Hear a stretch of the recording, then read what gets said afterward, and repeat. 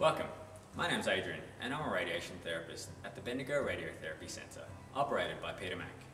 In this video, I'll be providing you with some information on what radiotherapy is, how it works, and what to expect for your appointments with us. If you'll come with me, I'll take you for a brief tour around the department. Throughout your radiation therapy journey, you may meet many different types of healthcare professionals who will work together as a team to deliver your care.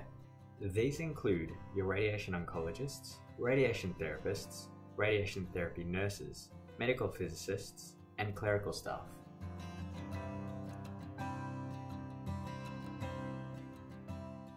Prior to beginning your radiation therapy treatment, you will have a consultation with your radiation oncologist. Your radiation oncologist will review your full medical history, including pathology results and scans, and may also perform a physical examination. After consulting with other health professionals, they will then provide you with and explain your treatment options at a scheduled appointment time.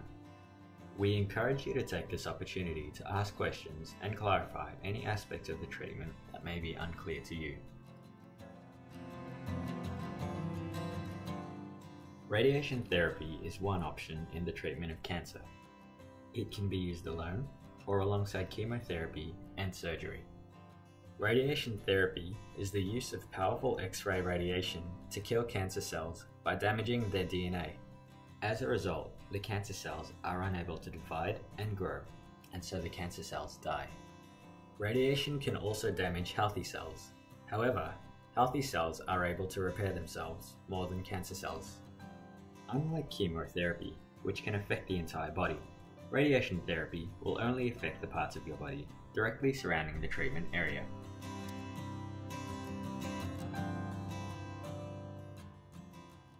Before your first treatment appointment, you may be scheduled to have a planning CT scan. This CT appointment is not intended to provide additional information about your diagnosis. The scan will provide us with valuable information to create your individual treatment plan. You will be scanned lying on your back in a reasonably comfortable and stable position, with your arms raised above your head. It is important that you're in a comfortable position during your CT scan, as this will help you to maintain the same position every day for your treatment. The radiation therapists may use a range of equipment to keep you in position and will use lasers in the room to ensure you are lined up straight on the bed. The equipment used to stabilize you is customizable to each individual and can vary based on your radiation oncologist's requirements. Once the radiation therapists are happy with your position, they will perform your CT scan and take some measurements. You may receive very small permanent tattoo marks, smaller than a freckle, to help reproduce your position every day on treatment. Depending on your anatomy, you are likely to receive two tattoos on your front and two on each side. The tattoos on the opposite side to your treatment side will ensure you are rotated correctly every day for your treatment.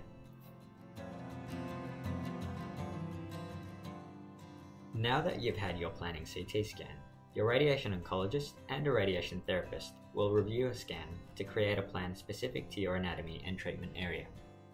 Your radiation oncologist will identify and outline on the CT scan the areas that need to be treated, known as a target volume, and also the areas that need to be avoided.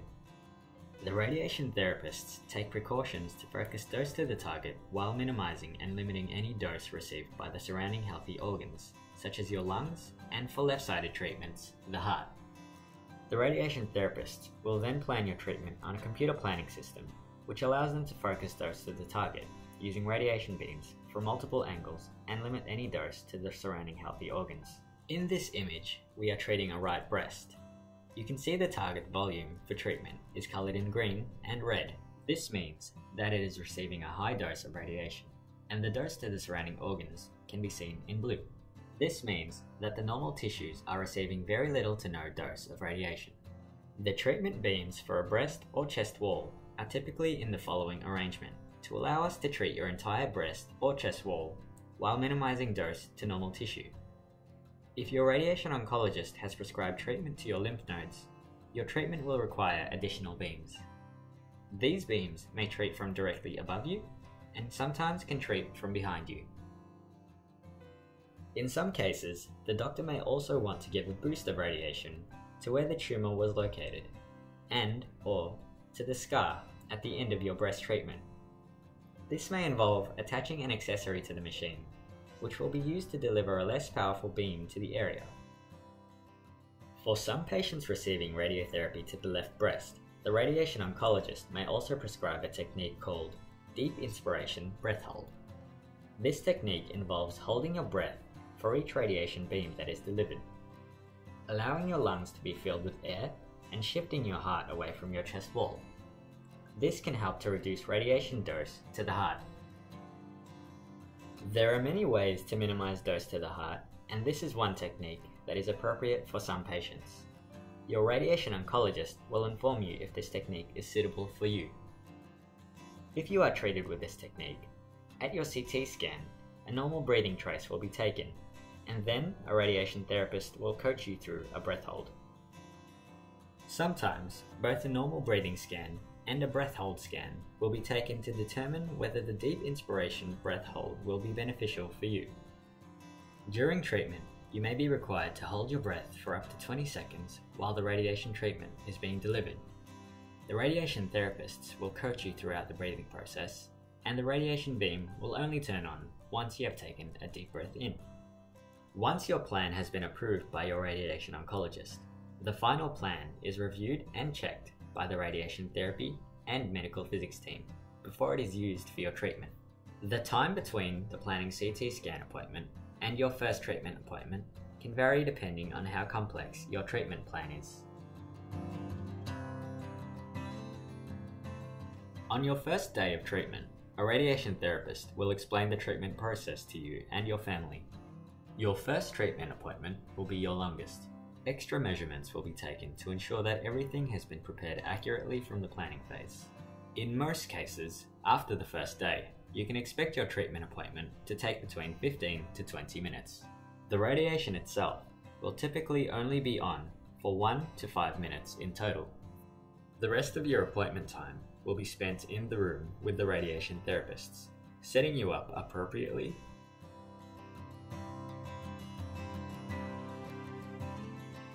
This machine is called a linear accelerator. It will deliver your treatment using electricity to create strong and powerful X-ray radiation to target the area your radiation oncologist wishes to treat. The machine will move around you to best deliver the treatment from different angles, and it may come close, but it won't touch you. The treatment is painless, and you will not see or feel anything when the radiation is on, but you may hear a noise from the machine. Radiation is only produced when the machine is turned on. This means that once the machine is turned off, there is no radiation present either within yourself or in the room.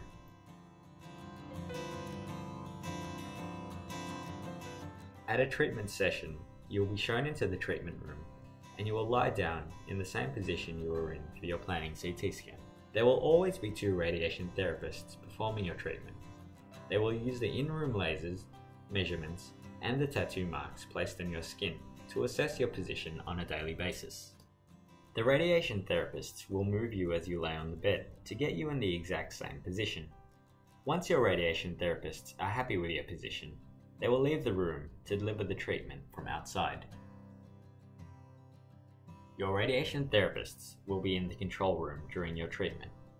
They have cameras and microphones available so they can see you and hear you at all times. The radiation therapists can also talk to you if needed. If you need anything whilst the treatment is underway, please stay still and call out. Before your treatment is delivered, it may be necessary to take an X-ray image of your position.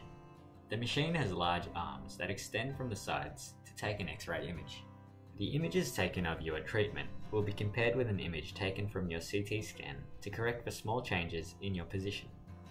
These images are taken on the first day for every patient and may be taken each day or every few days depending on your treatment area.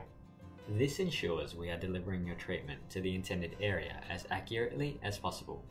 Once these images have been taken, you may feel the treatment bed move underneath you to fine tune your position based on the images taken. Even though the treatment staff are outside the room, they are still in control of the machine during your treatment. During your treatment, several parts of the machine can move around you. The main part of the machine that will move around you is called the gantry. The machine will move to the appropriate angles and stop to deliver the treatment. The X-rays are delivered from this part of the linear accelerator and uses metal shielding to precisely shape the X-rays specifically for your treatment. In the bottom left hand corner, you can see the different shapes being created by the shielding. In this example, the target is red, and the lungs and heart are displayed by other colours. As you can see, the shielding surrounds the target area and protects as much of the healthy organs as possible. If you would like to know more about which technique is being used for your treatment, please ask a radiation therapist. On the first and last day of treatment, you will have an appointment with our nursing team to go through the best way to look after yourself during and after treatment.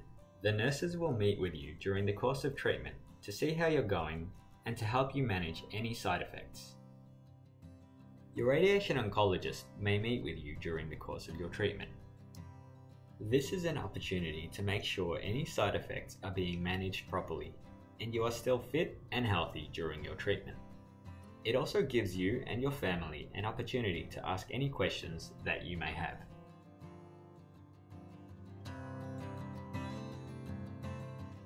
To minimize side effects, care begins on the first day of treatment and continues for at least three weeks after finishing your treatment.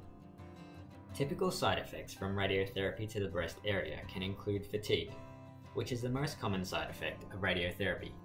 Treatment related fatigue generally begins within two to three weeks of starting radiotherapy. It can take a few weeks after finishing treatment for energy levels to return to normal. It is important to take care of your skin throughout your treatment, as radiotherapy can cause some redness and dryness to the skin that is being treated. It is important to be aware of sun sensitivity during treatment and always take precautions when going outside, which includes wearing protective clothing. Whilst uncommon, you may also experience some pain or discomfort in your treatment area. If you are experiencing any of these side effects, please seek advice from your radiation oncologist or nursing staff.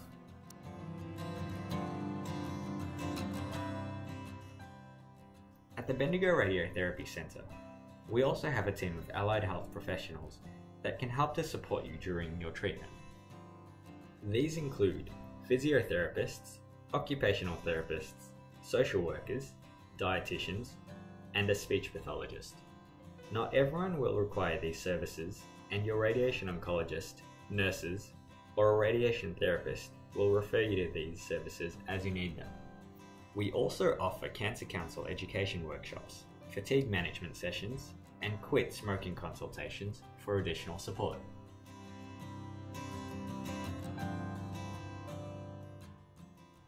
Before the conclusion of your treatment, your radiation oncologist will discuss whether you require any follow up appointments. You may have follow up appointments with some or all of the following your radiation oncologist, medical oncologist, surgeon, or GP. On the last day of treatment, the nursing team will also discuss options for continuing support for you after your treatment has finished.